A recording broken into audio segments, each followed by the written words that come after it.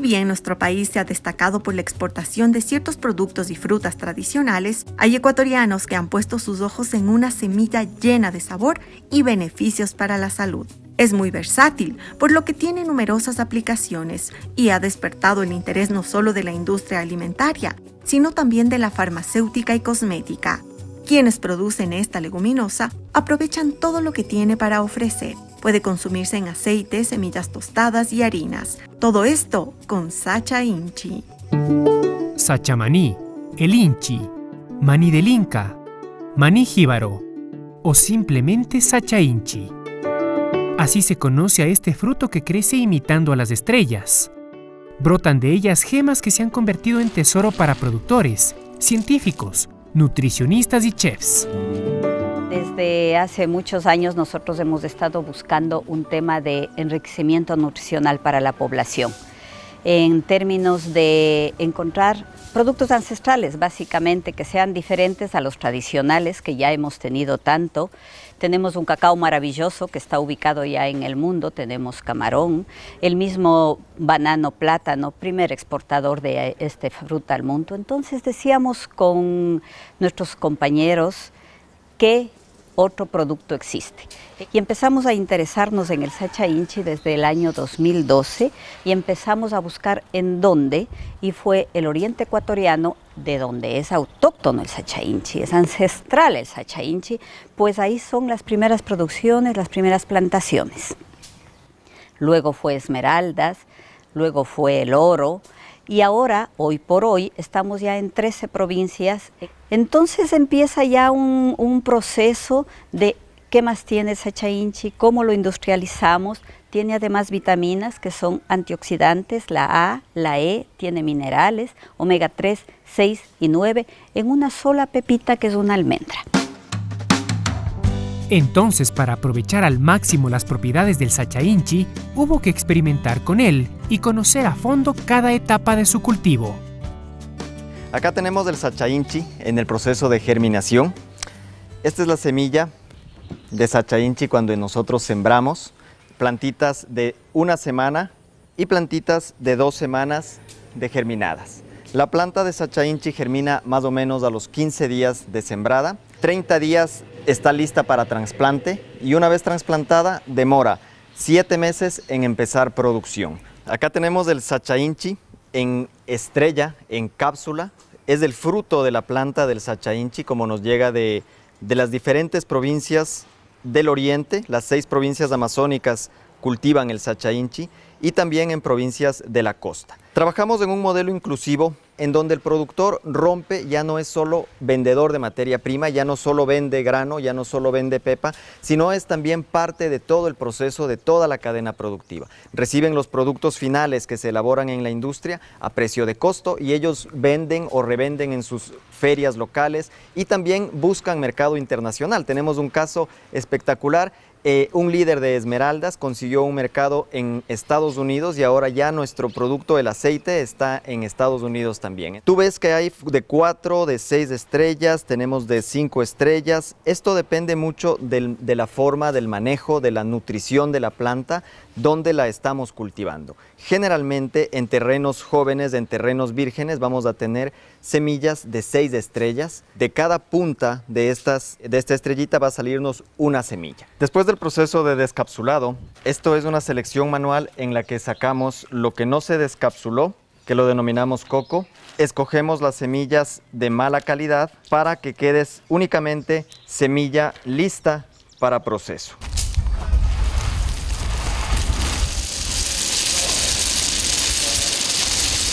Iniciamos con el descascarado, después pasa por una selección manual, esta pasa por una banda sin fin hasta llegar a la prensa y sale eh, por el otro lado aceite en una temperatura no más de 40 grados centígrados y torta, que es el bagazo, digamos, la parte sólida de la semilla. La torta pasa por un proceso de molienda en el que vamos a buscar una textura totalmente fina, totalmente como polvo, como maicena, esta textura es la deseada para industria para poder hacer cualquier proceso de panificación, carnes de origen vegetal, El aceite pasa por un proceso de decantado, 15 días en barriles de 200 litros. Después de esos 15 días hay un proceso de filtrado, un microfiltrado, en el cual nosotros ya tenemos un aceite extra virgen sin ninguna impureza y obtenemos un producto totalmente claro, totalmente puro, similar a oliva, pero con unos contenidos nutricionales muy elevados, muy superiores. Del sacha inchi vamos a obtener tres principales derivados. Es el aceite extra virgen. Este aceite se lo puede utilizar en tres grandes industrias. Farmacopea, alimentos para preparaciones alimenticias y en cosmética. La harina, la torta, se la utiliza para derivados de panificación y los snacks son para preparaciones alimenticias, nutricionales, barras energéticas o también se lo puede consumir como un snack de media mañana. El sabor del sachainchi se parece al del maní, pero con un toque especial de hierbas que lo diferencia de otros frutos secos. Se puede aprovechar ese gustito en recetas de sal y de dulce, tanto en entradas, plato fuertes como postres. Bueno, el día de hoy vamos a hacer una entrada de snack de sacha inchi con ají de sacha y un poquito de pan. Empezamos cortando un poco el ají en pequeños trozos. Depende de qué tan picante lo deseen, puede ser dos, tres ají y depende del tipo de ají que se utilice. Y lo llevamos a la licuadora. Dependiendo de qué tan picante desean, este le vamos a hacer súper picante. Procedemos a colocar un tomate de árbol cocido, un poco de agua, un poquito de sal y lo licuamos. Eh, vamos a ir colocando mientras está licuando un chorrito de aceite extra virgen de Sacha Inchi hasta conseguir la consistencia que deseamos. Procedemos a cernir el licuado, procedemos a colocar un poco de cebolla y agregamos un poco de culantro picado. Revolvemos un poco, tenemos nuestro ají de Sacha listo para cualquier aperitivo o cualquier comida. Bueno, ahora vamos a hacer una ensalada fresca con aceite de sacha inchi. Empezamos seleccionando y lavando y desinfectando la lechuga. Procedemos a colocar trocitos de tomate picado. Luego agregamos un poquito de jugo o zumo de limón. Agregamos el aceite de sacha inchi. Agregamos un poco de culantro y agregamos un poco de sal. En este caso usamos también sal rosa de Himalaya. Finalmente podemos agregar un poco de snack de sacha inchi.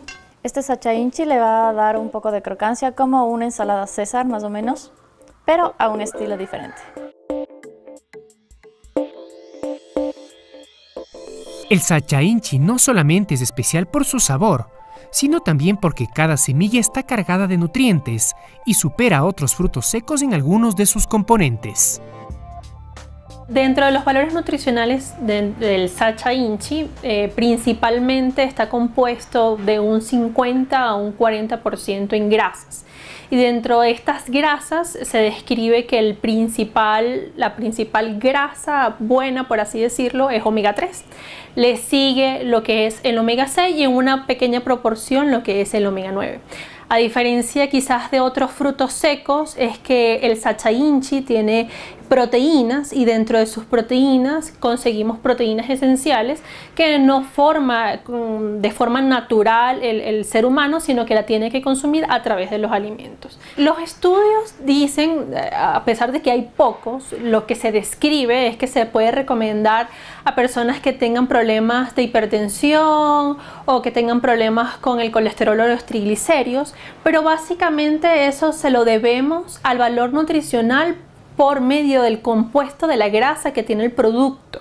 ¿sí? Recordemos que el omega 3 es eh, por sí solo una grasa antiinflamatoria natural. Se puede incluir dentro de la alimentación diaria cuando te refieres en cuanto a grasas buenas que debes consumir de una máximo a tres porciones y, y estoy hablando de una persona promedio que no quizás no tenga problemas de salud. ¿sí? Cuando hay una persona, una persona tiene problemas de sobrepeso o alguna patología o alguna condición, ahí debemos ser un poquito más cuidadosos. Como otros frutos secos, el sacha inchi es ideal para la preparación de postres. Ahorita vamos a hacer eh, nuestro postre. Nuestro postre va a ser un bizcocho sifón de harina de sacha inchi. Le vamos a acompañar con una espuma de coco. Entonces, ¿con qué vamos a comenzar? Tengo aquí un sartén previamente caliente. Le voy a agregar azúcar levemente y voy a esperar a que esto funda. Una vez que funde, le voy a agregar leche de coco y le vamos a agregar, y para acentuar sabores, le agregamos una pizca de sal. Ahorita vamos a hacer la masa del bizcocho sifón. ¿ya? Esta es una masa súper básica. Tenemos dos huevitos. Le voy a agregar un poco del aceite de sacha inchi. Le voy a agregar el harina de sacha inchi. Un poquito de azúcar. Y le vamos a agregar un poco de harina y polvo de hornear para darle mucho más cuerpo. Y esto directamente lo vamos a procesar hasta que esté totalmente homogenizado. Sí, ahora tiene la textura similar a como si fuera la masa de un pastel. Y esto directamente le vamos a colocar en nuestro sifón. Le vamos a colocar las dos cargas de dióxido de nitrógeno. Ahora lo que vamos a hacer es cocerlo en un vaso de plástico o puede ser de cartón o de espuma plex. ¿Por qué tiene que ser en cualquiera de estos tres tipos de vaso? Porque lo que nosotros vamos a hacer es que por medio de una cocción a través de las ondas infrarrojas del microondas, la cocción va a ir desde abajo hacia arriba. Entonces, si es que nosotros tuviéramos una porcelana, no va a existir un lugar por donde pueda ingresar esas ondas y ir soltando poco a poco vapor. Entonces al bizcocho lo vamos a ir abriendo y lo vamos a ir partiendo naturalmente para que no se vea tampoco tan apelmazado en el plato. Vamos colocando aquí de manera aleatoria nuestros bizcochitos. Tenemos nuestra tofia ahumada de coco. Le vamos a ir poniendo nuestro puré de naranja, unos más grandes, otros más pequeños para darle movimiento. Le vamos a ir colocando nuestro camote glaciado. Le vamos a ir colocando unos petalitos de unas flores comestibles. Tenemos bugambilla, tenemos rosas. Este es un mango verde. Esa partecita ácida que tiene nos va, nos va a quedar súper bien. Y le vamos a terminar con nuestra espuma de coco. Sí, todos estos sabores la verdad es que se llevan muy bien. Sachinchi es una oleoginosa, como sabemos, un fruto seco que tiene mucho sabor, ¿no? Entonces aquí tenemos sabores ahumados, sabores ácidos, sabores dulces, hay un contraste de sabor bastante interesante, ¿sí?